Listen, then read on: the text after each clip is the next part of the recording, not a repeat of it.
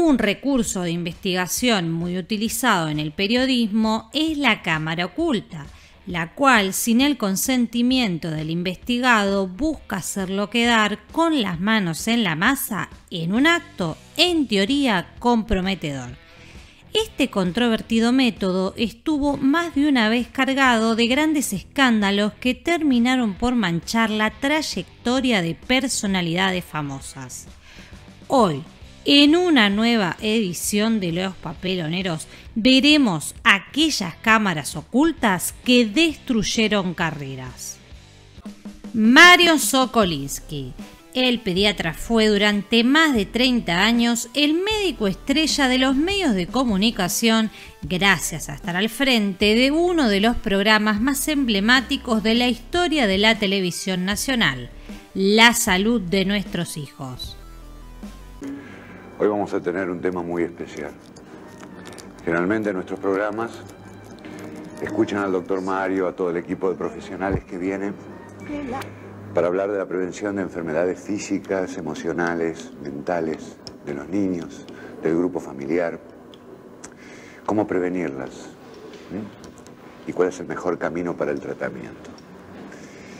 En este caso vamos a penetrar en un mundo en un mundo que lo tenemos al lado cotidianamente, pero que tantas veces damos vuelta a la cara, no queremos interiorizarnos. Son estos pibes que son hijos de la calle.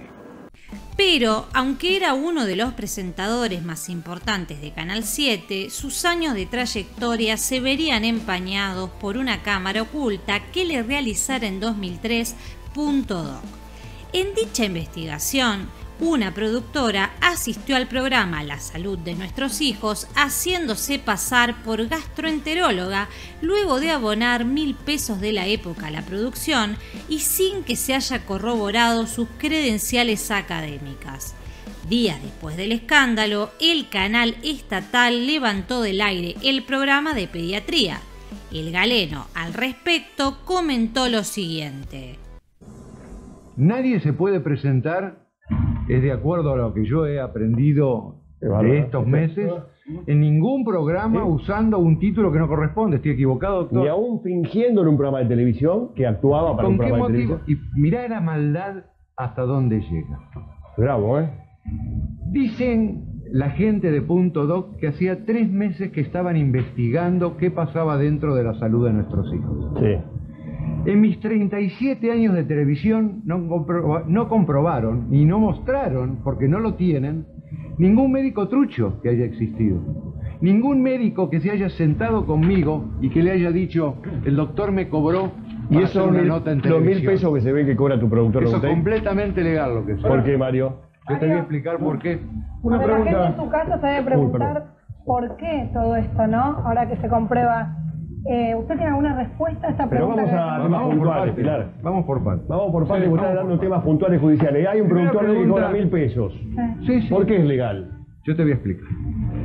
En el contrato que yo tenía con Canal 7, nosotros teníamos 90 segundos por día de uso exclusivo de la producción del programa, con seis auspicios que nos correspondía a la producción.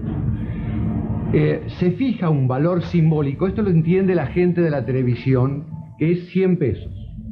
Yo tengo que pagarle todos los meses, como decía el contrato de Canal 7, y les voy a decir la cifra, cuánto pagamos, 6.300 pesos.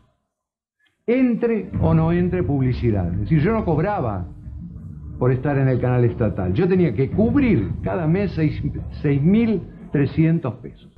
Esto terminó por manchar para siempre la carrera de Sokolinsky, quien después de la polémica migraría a Canal 26 para terminar recalando en la televisión local de Jujuy, donde en 2007 falleció a causa de un paro cardíaco. Marcelo Coraza el ganador de la primera edición de Gran Hermano, estaba dando sus primeros pasos en el mundo de la conducción de la mano de Megatrix.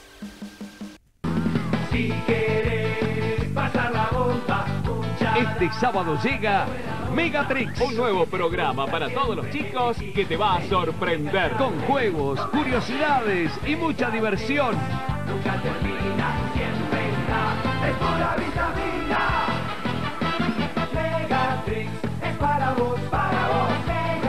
desde este sábado a las 12 del mediodía por Telefe.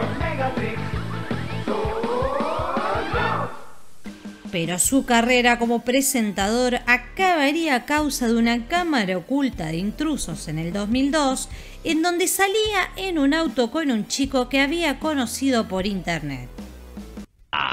Vamos a la primera parte de la cámara, este reencuentro entre el joven F y Marcelo Coraza. Tuvieron un intercambio de fluvios, por llamarlo de una manera. ¿Es así? Sí. Primera parte. Por ahí tuvo que ver también el programa, ¿no? Porque el programa te termina quemando la cabeza. Al respecto, Julieta Viesa, quien estuvo implicada en la cámara oculta, se mostró arrepentida por dicha situación, comentando que vendió el tape a intrusos porque estaba necesitada de dinero. ¿Intentaste hablar con él después para pedirle perdón de alguna manera? No, la verdad que no. Es, la única, por eso me gusta que me preguntes, porque es la única oportunidad que tengo ahora, de, después de tanto tiempo, de, decirlo. Y, nada, de pedirle disculpas, Marcelo, disculpame, yo en, este en ese momento de mi vida estaba pasándola mal. Eh, yo le conté a una amiga mía de, la pensión donde yo vivía en Montserrat lo que me había pasado con vos. Eh, ella agarró, mandó un mensaje a intrusos y, y bueno, se contactaron conmigo y, me ofrecieron una plata y yo la agarré porque necesitaba, no, estaba bien. Y todo lo demás eh, fue bastante invento, yo nunca tuve la intención de hacerte mal, nunca pensé que eso iba a salir a la luz, pensé que era, no entendía cómo era, era muy chica, no entendía que, que podría llegar a haberte arruinado la vida. Y después cuando empecé a ver todas esas cosas que estaban saliendo y estaban publicando una manga de mentiras que no habían pasado, yo me sentí muy mal, pero después ya no me dieron la oportunidad de yo disculparme. Así que nada, lo único que te puedo decir es que de corazón que te pido disculpas, que yo nunca tuve la intención de, joderte ni hacerte nada, simplemente estaba pasando mal. Eh, si pudiera tener, darte un abrazo y remediar algo de, todo, toda esa porquería, porque la verdad que yo quedé mal, porque no quedé tan choqueada con el tema de, de todo. Quedé mal porque por el sentido de que estaban diciendo muchas mentiras, estaban inventando mentira tras mentira. Vos y yo sabés cómo fueron las cosas, o sea que inventaron mucho y lo único que te pido es disculpas de, corazón. Eh, vos sabés cómo es este medio, me, si pudiera volver atrás, esto no hubiese pasado ni hubiese salido nunca, eh, ni por la más plata del mundo, aunque no tenga para comer ni nada, no lo hubiese hecho. Pero las cosas se dieron así, te pido disculpas de corazón y, ojalá puedas entenderme y, y entiendas que me dejé llevar por mentiras de una persona que la verdad que no vale la pena. Tiempo más tarde, Rial admitió el error Coraza, luego de 20 años de silencio, comentó en una entrevista radial. Uno sobrevive. Ahora, en ese momento a mí me había parecido grave, ¿eh? La verdad que me había parecido oh, muy no, grave. recontra grave. Ahora lo miro, viste, a la distancia y digo, bueno, ya pasó, ya está. Mm. Y no soy rencoroso y no es que me haga el, Madre Teresa, ojo, ¿eh? Mm.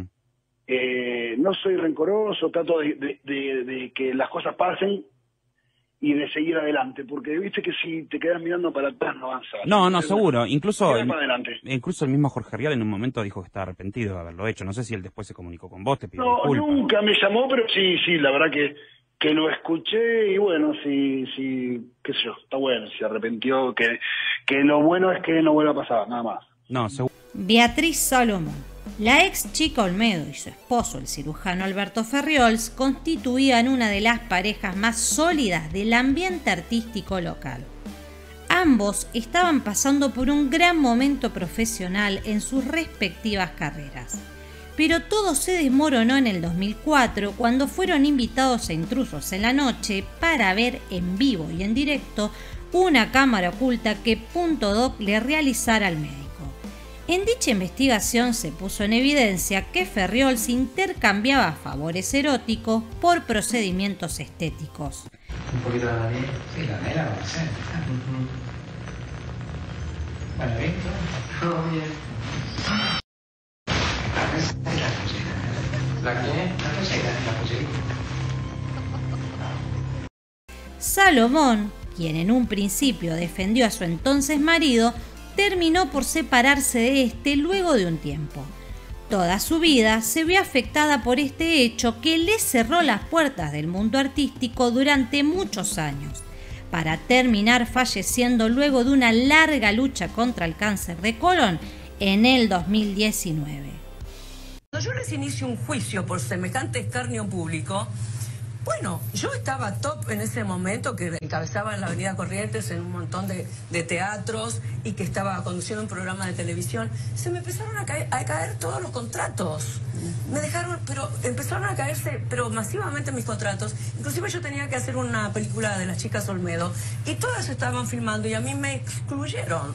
Yo llegaba a una fiesta y me decían, por ejemplo, ah, no, no, no, los mismos fotógrafos, no, no la pongan a la Salomón porque le hizo juicio a Jorge Real y a Luis Ventura. Me sacaban de la foto, en una, en una fiesta, ponele. Y, inclusive yo, yo he escuchado a los mismos productores decir, sí, Beatriz Salomón es una gran comediante, pero no la contraten, no, no la contraten, mirá que le inició juicio a Jorge Real y a Luis Ventura y a Pergolini, nos van a boicotear este, el programa de televisión o la obra de teatro, y me bajaban. No, fue terrible. ¿Fue era cuatro cabezas la productora? Sí, sí, sí, sí. La este, punto doc fue, claro. El, juicio se le hace a Jorge Real, a Luis Ventura, a Mario Pergolini, Diego Gebel, que es su socio, ah, Miriam Lewin y Toñetti. Este, eh, bueno, todos negaron, porque yo los fui a buscar a ellos, a, Jorge Real, y los fui a buscar a Pergolini, todos negaron, nadie sabía, que no sabían quién había dado la orden, pero ¿cómo sabían quién había dado la orden si eran los dueños de las productoras? Yo lo fui a buscar un día a Mario Pergolini, a América, que justamente Jorge Real estaba haciendo una entrevista. Lo esperé en la puerta hasta que terminó el programa y alguien le avisó, obviamente, que yo estaba ahí. Y lo hicieron salir por la puerta del fondo. Salió corriendo como una rata. ¿Vos sabés? Tenerle miedo a una mujer que yo no fui un patobica ni fui, sola a preguntarle a ver a cuándo se terminaba este juicio, por qué se habían metido así en mi vida. ¿Me entendés? Porque él fue la mano ejecutora. Le dieron 750 pesos a una chica travesti para arruinar mi matrimonio. Eso costó eh, eh, este, eh, arruinar mi, divorcio, o sea, arruinar mi, casamiento y después toda la discriminación que, sufrí. Fue espantoso. Esto me, ha causado... lo contado esto. Tanto dolor, tanto dolor. El estrés que yo he tenido hasta me ha cercenado un poco la digamos, la, no solamente la vida personal y emocional, la salud, Mirta, la salud ha sido tremenda. Yo me, la verdad que eh, yo me Pero ¿y tu ex marido nunca te dio explicaciones eh, sobre el hecho o lo admitió finalmente? En algún momento lo admitió, pero ya estábamos divorciados, viste, yo nunca le hubiera perdonado una cosa así. Si les gustó el video, denle like, suscríbanse a nuestro canal y háganle un clic a la campanita de notificaciones.